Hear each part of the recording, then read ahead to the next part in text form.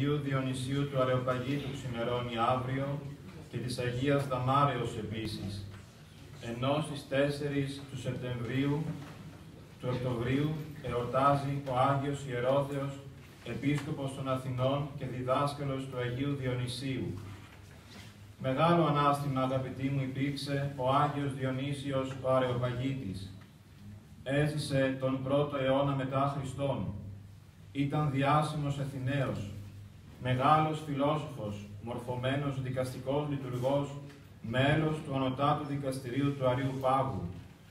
Μεγάλη θεολογική και ιστορική αξία έχει η περικοπή που διαβάσαμε στον Απόστολο και η οποία προέρχεται από το βιβλίο της Καινής Διαθήκης που ονομάζεται «Πράξεις των Αποστόλων», το οποίο εξιστορεί την ζωή της πρώτης χριστιανικής εκκλησίας και τις περιοδίες των Αποστόλων προς διάδοση του χριστιανικού κηρύγματος. Αφού λοιπόν έφτασε ο Παύλος στην Αθήνα, όπως αναφέρει το 17ο κεφάλαιο των πράξεων, κάθισε λίγο καιρό εκεί, γιατί περίμενε να κατέβουν από την Βέρεια στην Αθήνα οι δύο συνεργάτες του, ο Σίλας και ο Τιμόθεος. Εν αναμονή λοιπόν αυτών, τριγύρισε στην Αθήνα και έβλεπε παντού αγάλματα, αφιερωμένα στους θεούς του Ολύμπου, που πίστευαν τότε οι αρχαίοι Έλληνες. Οι πράξεις γράφουν ότι ο Παύλος δυσαρεστούνταν με αυτή την κατάσταση. Αλλού θα είδε το άγαλμα του Δία, αλλού της Σύρας, αλλού του Ποσειδώνα της Αθηνάς, της Αφροδίτης και τόσων άλλων. Οι θεοί αυτοί ήταν ανθρώπινα κατασκευάσματα, προϊόντα μύθων και φαντασίας των ανθρώπων, γεμάτοι από ανθρώπινα πάθη και αδυναμίες. Ο Δίας ήταν υποκείμενος στη βία και στην απάτη των άλλων θεών. Η Ήρα παρουσιάζεται σκληρή, εκδικητική, ζηλόφθονη. Ο Άρης ήταν ο θεός του πολέμου. Η Αφροδίτη ήταν η θεά των σωτικών απολαύσεων. Ο, Διονύσιο, ο Διόνυσος ήταν ο θεός του μεθυσιού. Πώς να μην στεναχωριόταν μέσα σε όλη αυτή την κατάσταση ο Παύλος, ήρθε να κηρύξει σε ανθρώπους που πίστευαν στα κτίσματα αντί να πιστεύουν στο κτίστη, πίστευαν σε χρυσό, άργυρο και μάρμαρα που απεικόνισαν τους θεούς, θεούς ομοιοπαθείς, εμπαθείς, γεμάτους από ανθρώπινα πάθη. Αλλά να, ιδού, μέσα στην απαγοήτευση πάντα ξεπροβάλλει μια ακτίνα φωτός που θα δώσει την λύση. Μία ελπίδα μέσα στην ψυχή του Παύλου γεννιέται. Βλέπει ένα βωμό ο οποίος γράφει το αγνώστο Θεό, δηλαδή έναν βωμό αφιερωμένο στον άγνωστο Θεό. Ανακουφίζεται ο Παύλος, βλέπει μια ελπίδα να φέγγει. Θα πρέπει μάλιστα να ξέρουμε ότι πέρα από τον βωμό αυτόν το αγνώστο Θεό, οι μεγάλοι φιλόσοφοι της αρχαιότητας αμφισβητούσαν την πολυθεία και την ιδωλολατρία και μιλούσαν για έναν Θεό. Αυτοί είναι οι λεγόμενοι προ-Χριστού χριστιανοί. Ο Πλάτων κηρύττει Θεό που συγκεντρώνει όλες τις αρετές, ο Σοκράτης δεν συμφωνούσε με την τιμή στους θεούς των συμπολιτών του και γι' αυτό καταδικάστηκε σε θάνατο.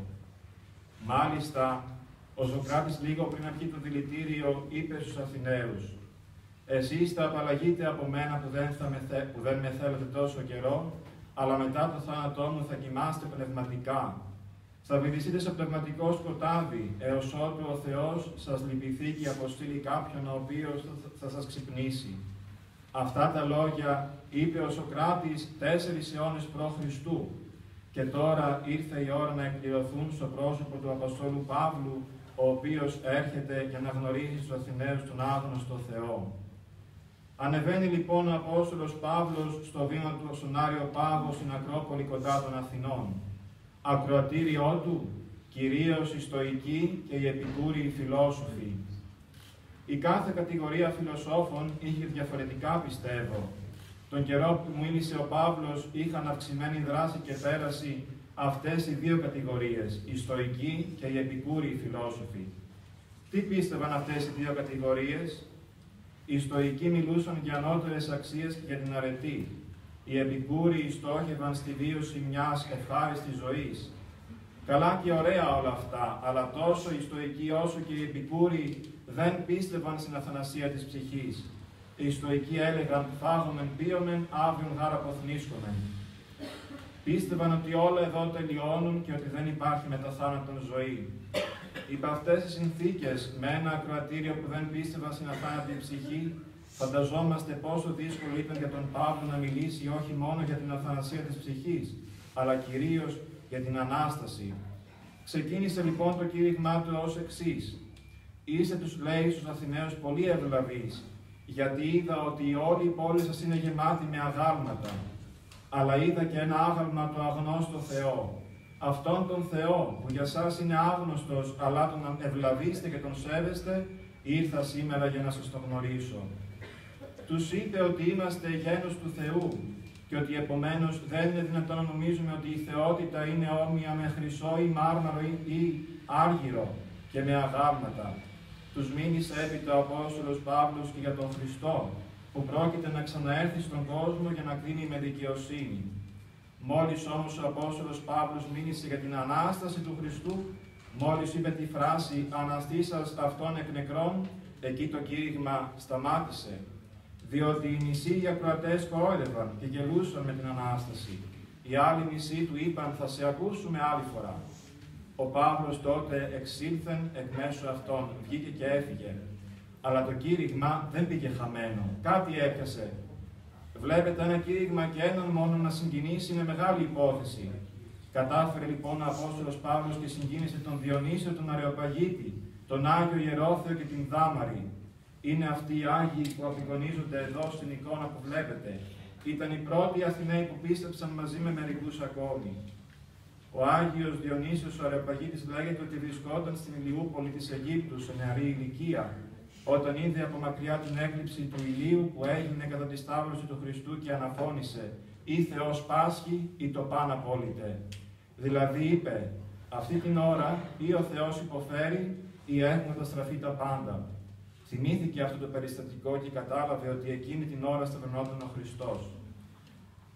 Από αυτό το μικρό κύκλο λοιπόν, από τον Άγιο Διονύσιο, τον Άγιο Ιερόθεο και την Αγία Δάμαρη, και από μερικούς άλλους ανθρώπους που πίστεψαν, οι 5 έγιναν 10, οι 10 έγιναν 20, οι 20 έγιναν 40, 80 και ούτω καθεξής, και αύξανε και αύξανε συνέχεια ο αριθμός των χριστιανών, ώσπου φτάσαμε στα σημερινά τα χρόνια, οπότε περπατώντας κάποιος στους δρόμους των Αθηνών, βλέπει τους καρπούς αυτού του πρώτου κηρύγματος του Παύλου.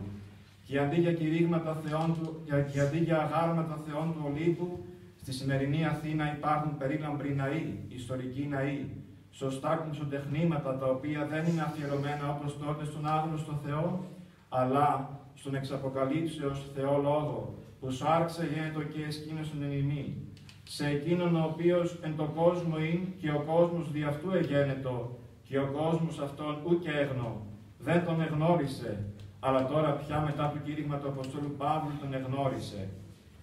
Ήρθε η ώρα για να ενωθεί η φιλοσοφία με τον χριστιανισμό, Ήρθε η ώρα για να εκχριστιανιστεί ο ελληνισμός.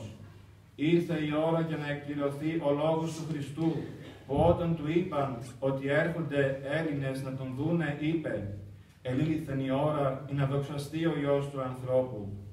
Ήρθε η ώρα για να ξεχαστεί από τους Έλληνες η λατρεία του Διόνυσου και να θυμάται πλέον όχι ο Διόνυσος, αλλά ο Διονύσιος.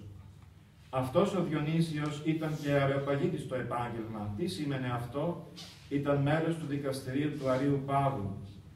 Και γι' αυτό είναι και ο Άγιος προστάτης των δικαστών, των δικηγόρων και των νομικών. Έρχεται αυτός ο Άγιος και ενώνει μεταξύ τους τα δύο στοιχεία, την θεία και την ανθρώπινη δικαιοσύνη. Μας υπενθυμίζει αυτός ο Άγιος ότι ο χριστιανός δικαστής πρέπει να είναι σωστός επάνω στο λειτουργήμά του. Πρώτον επειδή είναι δικαστής και άρα πρέπει για αυτό το λόγο να έχει ήθος και χαρακτήρα και δεύτερον επειδή είναι και χριστιανός. Οι αρχές του χριστιανισμού, αγάπη, δικαιοσύνη, αμεροληψία, καλοσύνη, πραότητα, εκτίμηση της μετάνοιας του άλλου, σεβασμός του άλλου ακόμη και αν έχει διαφορετικές απόψεις και ιδέες, είναι αρχές που πρέπει να κοσμούν έναν δικαστή. Η Αγία Γραφή, Τόσο η Παλαιά Διαθήκη όσο και η Καινή Διαθήκη είναι κατάσπαρτη απορριτά τα οποία μπορούν να αποτελέσουν οδοδείκτες στην πορεία ενός δικαστή. Δικαιοσύνη μάθετε οι νοικούντες επί της γης, γράφει στον προφήτη Ισαΐα.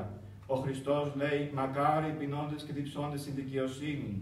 Σε άλλο σημείο το οποίο ιδιαίτερα πρέπει να προσεχθεί, ο Χριστός κάνει λόγο για την ουσιαστική δικαιοσύνη και όχι για την τυπολατρική δικαιοσύνη. Οι Φαρισαίοι ως γνωστόν ήταν τυπολάτρες, έμεναν και κολούσαν στον τύπο και όχι στην ουσία, ήταν προσκολλημένοι στο γράμμα του νόμου και παρέβλεπαν το πνεύμα του νόμου. Το Σάββατο δεν επέτρεπαν ούτε τη θεραπεία αρρώστου ανθρώπου και έρχεται ο Χριστός και λέει «Το Σάββατον δια των άνθρωπων εγένετο και ούχο άνθρωπος δια το Σάββατον» τονίζοντας έτσι τον ανθρωποκεντρικό χαρακτήρα και πνεύμα με το οποίο θα πρέπει να αναγινώσκονται και να ερμηνεύονται οι διατάξεις του νόμου.